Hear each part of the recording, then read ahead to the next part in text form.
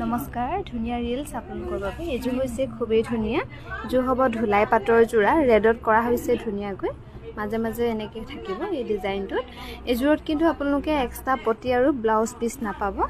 ধুনীয়াকৈ কৰা হৈছে এই ধুলাই পাটৰ যোৰা ঊনৈছশ পঞ্চাছ টকা। ধুনীয়াকৈ ল'ব পাৰিব।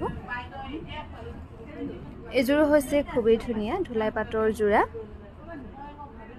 ডাৰ্ক মেৰুনত ধুনীয়াকৈ কৰা হৈছে। এইযোৰ ল'ব পাৰিব ঊনৈছশ পঞ্চাছ টকা।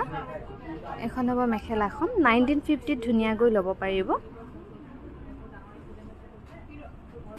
এইযোৰ হৈছে খুবেই ধুনীয়া। ডাৰ্ক ব্লু কালাৰ ধুনীয়াকৈ কৰা হৈছে এইযোৰ এইযোৰ ল'ব পাৰিব নাইনটিন ফিফটি। নাইনটিন ফিফটিত ধুনীয়াকৈ ল'ব পাৰিব ধুলাই পাটৰ যোৰা।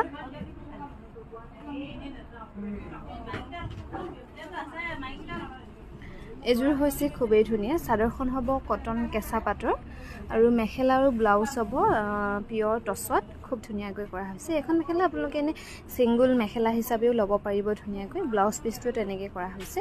এইযোৰ ল'ব পাৰিব চাৰি হাজাৰ সাতশ টকা আৰু চৰি চাৰি হাজাৰ পাঁচশ টকাত ল'ব পাৰিব আৰু এইযোৰো খুবেই ধুনীয়া। তাৰে অল্টাৰনেটিভ পিচ পিংক কালাৰ ধুনীয়াকৈ কৰা হৈছে। চাদৰখনো পিংকতে বুটাবোৰ থাকিব।